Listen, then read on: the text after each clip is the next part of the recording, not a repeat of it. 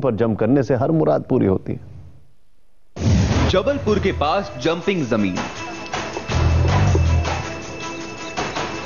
हिलाने पर क्यों हिल रही है ज़मीन?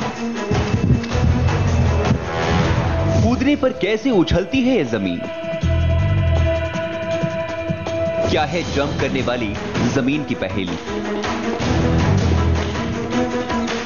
क्या आपने इससे पहले कभी किसी ज़मीन को ऐसे हिलते हुए देखा है?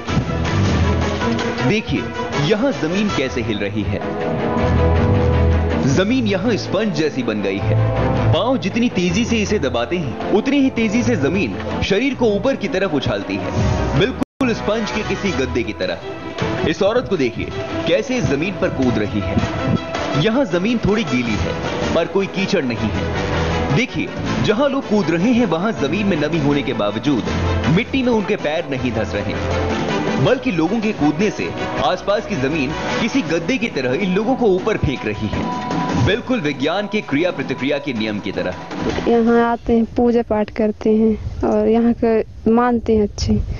यहाँ मेला लगता है और भागवत होती है।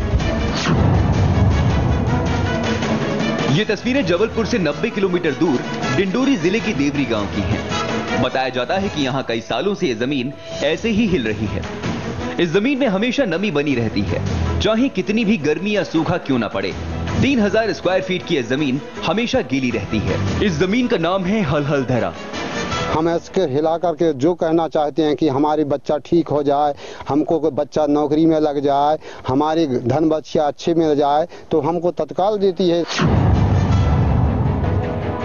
हलहल धरा स्थानीय लोगों की आस्था का केंद्र है। ऐसी मान्यता है कि यहाँ कूदने से अगर ज़मीन हिल जाती है तो मन की मुराद पूरी होती है। ज़मीन से थोड़ी ही दूरी पर एक कुंड है जिसका नाम लक्ष्मी कुंड है। जो भी अगर यहाँ कह देते हैं इस स्थान में तो उनकी मनोकामना पूर्ण होती है। और आज भी हरलधारा लक्ष्मी कुंड नाम से इस स्थान का नाम से जाना जाता है।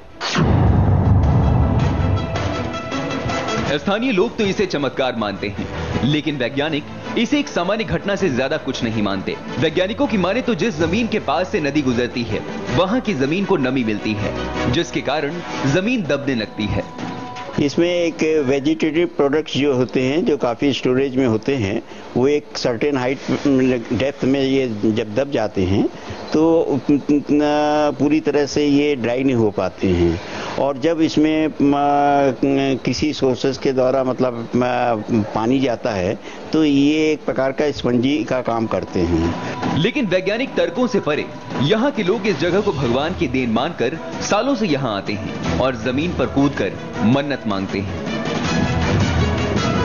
लोगों का ऐसी मान्यता है कि इस ज़मीन पर जंप करने से यदि ज़मीन हिल गई तो उनकी सारी मनोकामनाएँ पूर्ण हो जाती हैं। यही कारण है कि लोग दूर दूर से यहाँ आते हैं और पैर पड़कर ज़मीन पर जंप करते हैं और अपनी मनोकामना ज़मीन के सामने व्यक्त करते हैं। Rakesh Shrivas India TV Shahpura Dindori. इस ज़मीन को जम करने से ही नहीं देखने से भी अभी मन्नत पूरी होती है। हम आपको बताते हैं कैसे। जैसे इस ज़मीन को देखने के बाद मैंने मन्नत मांगी कि मुझे पता लगे कि इसका रहस्य क्या है। और ये मेरी मन्नत पूरी कर रहे हैं गौहर साहब। गौहर साहब ये क्या मामला है? क्यों ऐसा सब हो रहा है? बेसिकली ये जो एरिया है ये ग्राउंड वाटर टेंजेंशियल जोन कहलाता है जिसमें प्लास्टिक क्ले क्ले जो होता है प्लास्टिक होता है और इसकी प्लास्टिसिटी बहुत ज़्यादा होती है। और नीचे सैंड है। तो क्या होता है कि सैंड से पानी जो है वो क्ले के साथ आता है। और आगे देख रहे हैं आप कुंड है तो कुंड में ये पानी सैंड के ज़रिए इकट्ठा होता है। तो पानी तेज़ी से सैंड में चलता है और क्ले उसको रेसिस्ट करती है। तो इस वजह से जो है ये दलदल या मार्शी हो जाती है और वहाँ आपको मूवमेंट चूँकि बहुत फास्ट है, बहुत स्टीप स्लोप है। तो इसलिए मूवमेंट भी नज़र आता है कि धरती जैसे हिल रही है। तो ये आम तौर से किसी भी नदी का कांटेक्ट जब आता है तो सरफेस वाटर या ग्राउंड वाटर जब उसके अंदर जाता है तो इस तरह की एक्टिविटीज़ होती हैं। ये बहुत कोई मतलब स्पेशल केस नहीं कहा जा सकता। और साहब बहुत बहुत शुक्रिया हमसे बातचीत करने के लिए। देखिए हमने आपसे कहा था हमारी मन्नत पूरी होगी हो गई। और मन्नत पूरी होने के बाद यह ज़रूर समझ में आया कि इसको लेकर कोई भी अंधविश्वास ना करे। इसमें एक साइंटिफिक रीजन है। जेडे मर्डर केस क्या सीबीआई को सौंपा जाएगा? ब्रेक के बाद।